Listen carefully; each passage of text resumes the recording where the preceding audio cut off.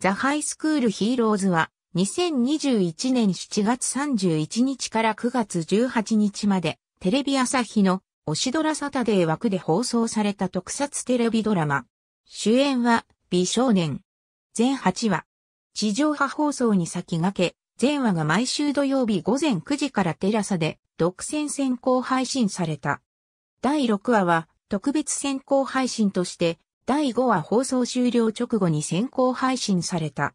また、ドラマの裏側を追ったオリジナルスピンオフ、特撮美少年が毎週ドラマ本編終了後にテラサで独占配信された。本作2021年7月期のオシドラサタデーは前枠の土曜ナイトドラマを吸収する形で放送開始時間が23時となり、放送時間も30分拡大され、23時翌0時の放送枠であった。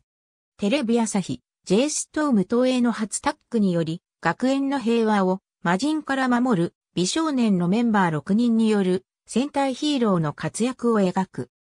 劇中には、スーパー戦隊シリーズ第一作、秘密戦隊、ゴレンジャーの主役ヒーローである赤レンジャーも登場するほか、戦隊シリーズで戦隊を経験した俳優のゲスト出演や同シリーズへのオマージュが多く盛り込まれており、オープニングの映像やテロップ、サブタイトルの文言やフォント、魔人の要望や倒し方なども、ゴレンジャーにおけるそれらを踏襲したものとなっている。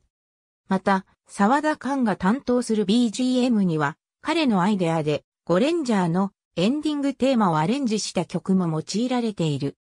小中高一貫教育の学校、五星学園の学園防衛部に集まった真中大生ら男子高校生たちがスマートフォンの返信アプリを使って学園の平和を守る戦隊ヒーローザ、ハイスクールヒーローズに変身し、生徒たちに危害を加える謎の存在、魔人を退治していく。ヒーローシステムを使用して変身する戦隊ヒーロー。フェイスシールドに変身した人物のファーストネームのイニシャルをモチーフとしたデザインが装飾される。創立100周年を迎える、小中高一貫教育の男女共学の学校。学園のモットーは、 Pure Right Beautiful。教師生徒五星学園の生徒たち。1話のみのゲストとして登場するものが多い。